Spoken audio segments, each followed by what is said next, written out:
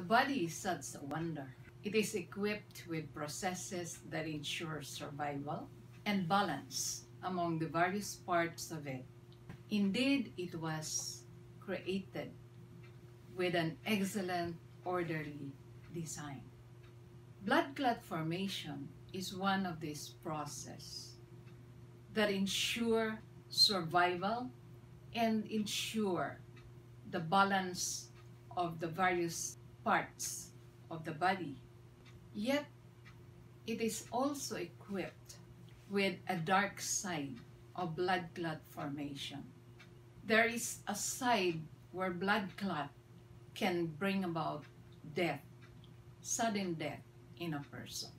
In fact, statistics show in the United States there are 50,000 to 200,000 people who die of blood clot after surgery or after being bedridden. And that's why I, I feel obligated to discuss this matter with you so that you can be equipped with an information that could bring about an informed decision when you need it. The first thing that I would like to discuss here is what causes this blood clot that forms sudden death? Or what causes formation of blood clots that cause sudden death? Number one is inflammation. Inflammation is a trigger for blood clot formation. One of those that cause inflammation is surgery.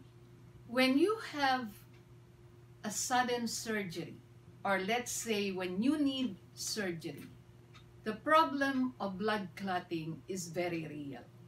That's the reason why knowing this, this makes you better prepared to avoid blood clot formation that can bring about sudden death. When you have surgery or when you need surgery, it would be wiser to talk to your surgeon before the surgery. Maybe you can uh, talk to him and discuss the matter with him. And maybe you can suggest that you be assessed, you be examined, you be tested to find out if you have that tendency to form blood clot that can cause sudden death. The second reason or the second cause for this blood clot formation that can cause sudden death is not using your leg well or lack of walking. This usually happens in people who are bedridden. When you don't use your leg often, formation of blood clots in the leg can happen. This could form a break in the leg. Blood clot in the leg can break.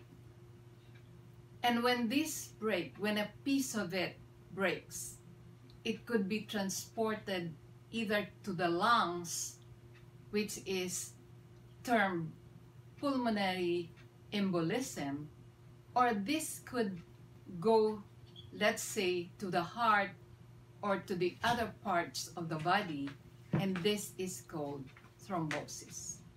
This pulmonary embolism and this thrombosis can cause immediate death in a person. This is the reason why doctors, after surgery or when you are in a hospital, they would usually encourage you to walk immediately after the surgery because blood clots can form if your legs are not properly used. The other reason for blood clot formation is estradiol.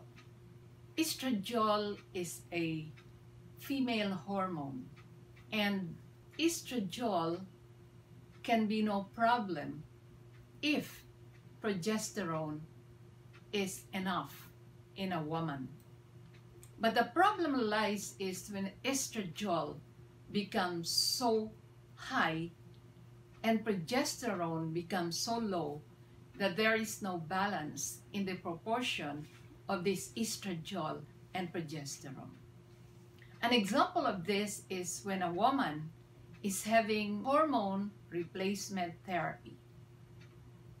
Estradiol in a hormone replacement therapy, especially if it is given in high dosage, can actually trigger the formation of blood clot that can cause sudden death. That's the reason why women who are having a hormone replacement therapy must see to it that they are often checked of their estradiol content and their progesterone content. Among men, there are also little amount of estradiol. But as long as testosterone is enough, there is no problem. The problem comes when men, older men for example, tend to lack testosterone. And when this happens, when testosterone becomes reduced, it forms into estradiol. And this is the time when estradiol in men becomes problematic. They can also cause blood clot formation. The other cause of blood clot formation that can cause sudden death is a constitutional factor. Constitutional factor, five Leiden factor. This five Leiden factor, as I've said, is an abnormal gene that triggers the formation of excessive blood clot, which is called hypercoagulability. When you have a tendency for hypercoagulability, then you have the tendency to form excessive blood clots, which can cause sudden death. Among Caucasians, they say that 5% of them has 5 Leiden factor. Among Hispanics and Afro-Americans, they said that it is less occurring in them. And Asians are probably the most fortunate because they say that it is very rare among Asians. If you are informed about this and you are watchful and careful, like you have to have tests, you would be needing surgery, having a hormone replacement therapy, both among women and among men. And as you grow older, especially if you are Caucasian, Hispanics, or Asians, there is always that advantage to be watchful and to exercise prudence in taking precautionary measures.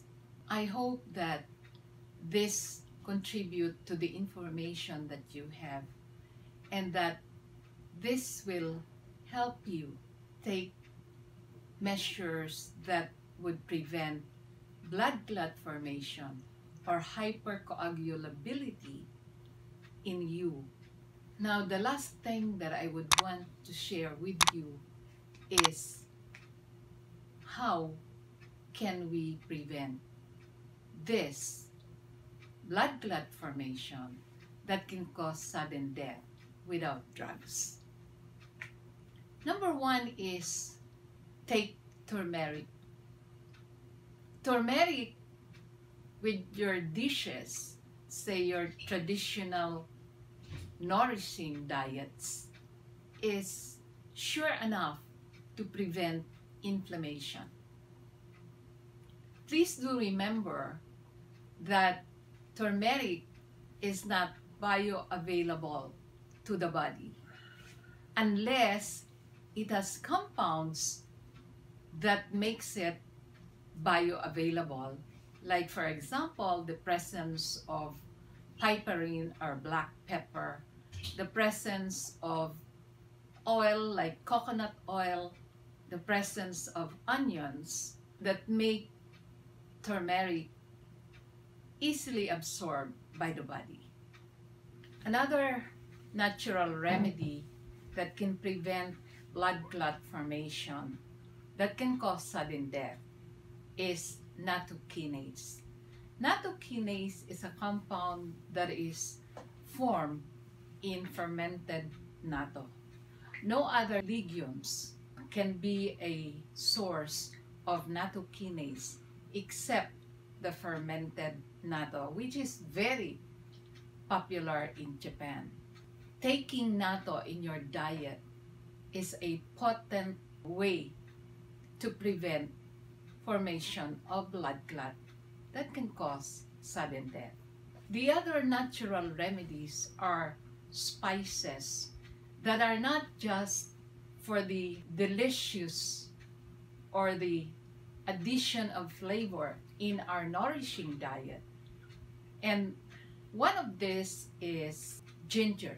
We know that ginger is a blood thinner, so it can stop the formation of blood coagulation or stagnation of the blood. Asians are very fond of having ginger in their dishes. That's why that is very good to include in our diet. The other is garlic. Just like ginger, garlic can also be used in our diet, in our dishes, and this contribute to the prevention of blood coagulation or blood clot formation. The other natural supplement to take and prevent problematic blood coagulation is vitamin E. Taking vitamin E supplements can thin the blood and this can also prevent blood clot formation that can cause sudden death. I hope this contributed to your information, which could bring health and wellness in you. Thank you very much, and may God bless you.